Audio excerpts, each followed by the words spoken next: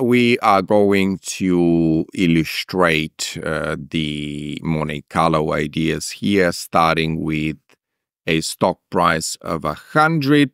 I'm gonna make up some daily mean. That's our drift spot one and daily volatility of 1%. I've also copied the formula from the slide so you can follow what I'm doing here.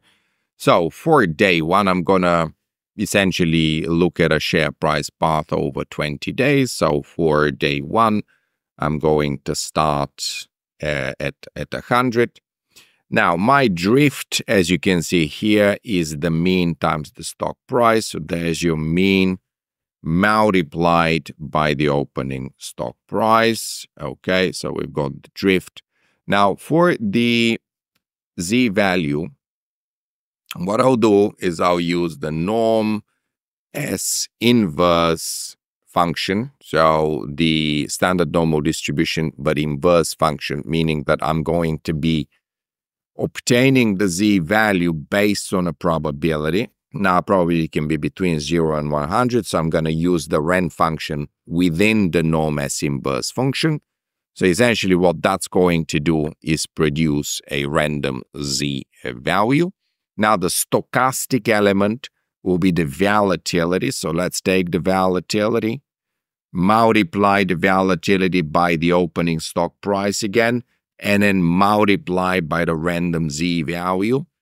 Okay, so there's your stochastic element. And then the closing price.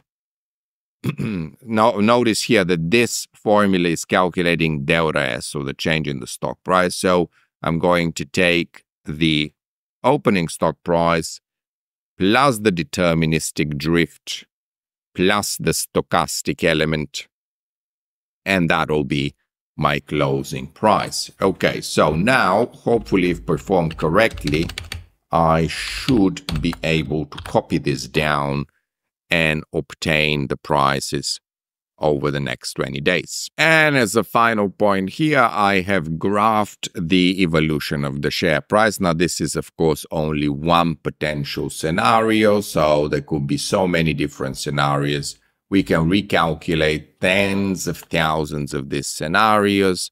So I guess you could mm, write a VBA macro or you could do some Python programming code. So just generate tens of thousands of those scenarios.